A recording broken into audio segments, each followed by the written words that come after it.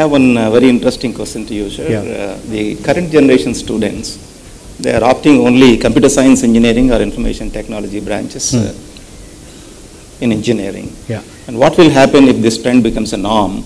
Because most of the premier institutions, uh, they are finding it difficult, in fact, uh, to fill up their seats in traditional branches like civil, mechanical, chemical, petrochemical, marine engineering. future generation by not thinking about these problems. But the entire association has to come, AICTE has to uh, join, Council of IITs will have to join and produce five case studies on how mechanical engineering transformed the world, how aeronautics transformed the world, how chemical engineering transformed, etc.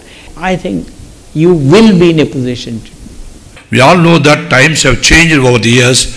Earlier, the speed of change was slow, but today, the speed of change is exponential.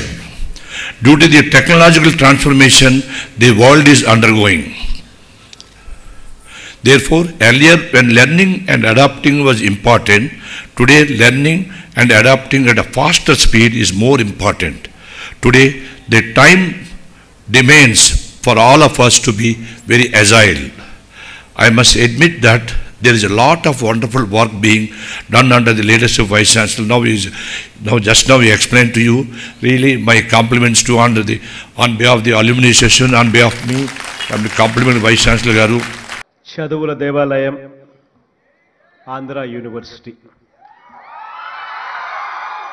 పదమూడు జిల్లాల ఆంధ్రప్రదేశ్లో మొట్టమొదటి యూనివర్సిటీగా మన ఆంధ్ర విశ్వకళా పరిషత్ మన రాష్ట్రానికి దేశానికే కాకుండా ప్రపంచానికి మేధావులను అందించిన గొప్ప చరిత్ర మన ఆంధ్ర యూనివర్సిటీ.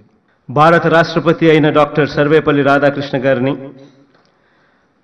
ప్రొఫెసర్ కట్టమంచి రామలింగారెడ్డి గారిని ప్రొఫెసర్ శ్రీనివాస్ అయ్యంగర్ గారిని ఇలాంటి మహామహులు వైఎస్ ఛాన్ వైస్ ఛాన్సలర్గా పనిచేసిన గొప్ప చరిత్ర కూడా ఆంధ్ర యూనివర్సిటీకి ఉంది.